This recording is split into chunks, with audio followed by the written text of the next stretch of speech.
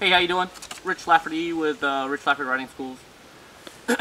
just, um, I don't know, a tip as far as just positive, being positive, uh, you know, and focusing on the positive.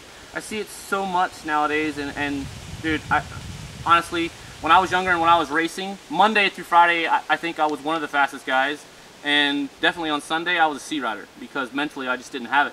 But now I'm older and I can look back and it, it, no regrets and it is what it is. But um, I see it in so many people and younger racers with that attitude of just um, uh, just negative, focusing on the negative. Understand you just gotta focus on the positive. There's always to be a negative no matter what you do. You know, like that person that says, uh, "Oh, riding a dirt bike, you can get hurt doing that." Yeah, you get hurt driving your car or walking out your back door, but you know, it, there's always a negative to something. You gotta focus on the positive.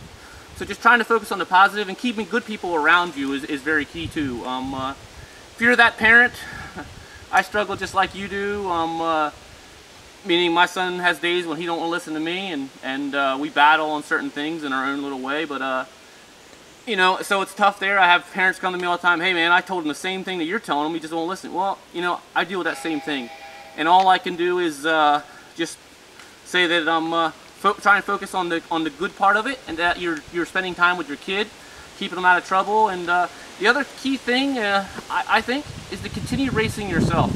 And that's when a lot of people don't understand why I still want to ride because I don't want to become that little league dad. Um, I, I want to race myself. I'm still hungry, but it's more like therapy for me. Just want to get out on my dirt bike and have some fun.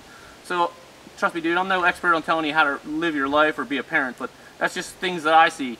Continue racing and just look at it as, as an opportunity to share something with your kids.